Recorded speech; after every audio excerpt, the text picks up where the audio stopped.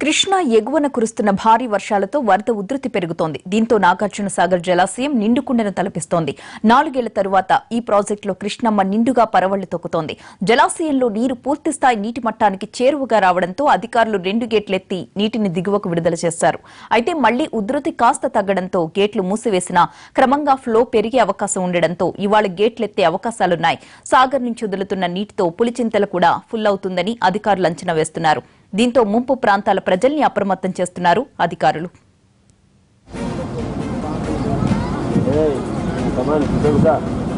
నాలుగేళ్ళ తర్వాత నాగార్జున సాగర్ గేట్లు తెరుచుకున్నాయి. శ్రీశైలం నుంచి ఒకటిన్నర లక్షల క్యూసెక్కులకు పైగా నీరు రెండు రోజుల నుంచి వస్తూ ఉంది. దీంతో నీటి మట్టం ఐదు వందల ఎనభై ఆరు అడుగులకు చేరుకోవడంతో రెండు గేట్లను ఐదు అడుగుల మేర ఎత్తి నీటిని దిగువకు వదిలారు. నాలుగేళ్ళ కిందట రెండు వేల పద్నాలుగు సెప్టెంబర్ ఇరవై మూడవ తేదీన సాగర్ గేట్లను చివరిసారిగా తెరచి నీటిని దిగువకు వదలగా మళ్ళీ ఇప్పుడు గేట్లు తెరుచుకున్నాయి.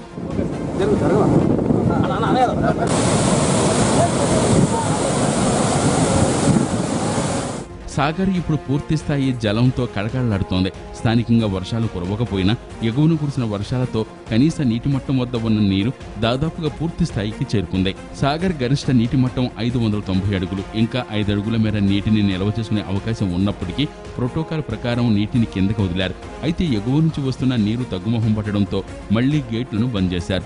ఇంకా వర్షాకాలంలో మరో నెల రోజులకు పైగా ఉండడంతో నీటి ప్రవాహాన్ని బట్టి గేట్లు మరికొన్నిసార్లు తెరిచే అవకాశం ఉంటుంది. పెరుగుతున్న ఉధృతిని బట్టి ఇవాళ కూడా గేట్లు తెరవాలని అధికారులు భావిస్తున్నారు.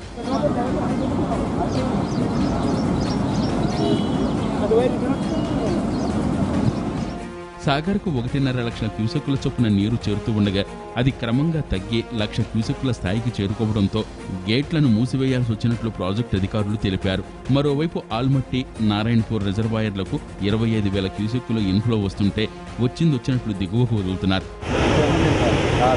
రెండు